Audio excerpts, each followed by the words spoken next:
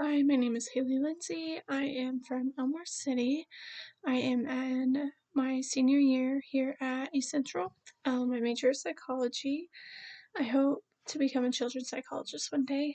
Um, something interesting about me is that I have two dogs. Um, I love to be outside, and I do have lots to be proud of and thankful for. Very grateful, very, very grateful. Um, some things that I have experience with as far as psychology goes is I have had to learn breathing exercises and techniques.